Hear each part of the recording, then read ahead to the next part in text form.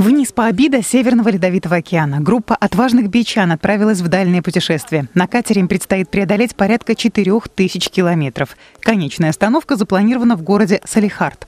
Сегодня утром смельчаки стартовали от понтонного моста. Советский катер «Амур» станет для них на несколько недель домом.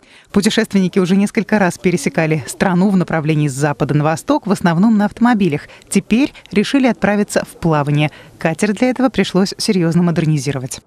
Наш российский север – это обилие ну, различных кровопийцев, да, там, летающих комаров, мошек, э, мошки, там, и, э, поэтому надо было в первую очередь позаботиться о самочувствии экипажа, потому что ну, месяц жить э, на открытом воздухе ну, достаточно сложно.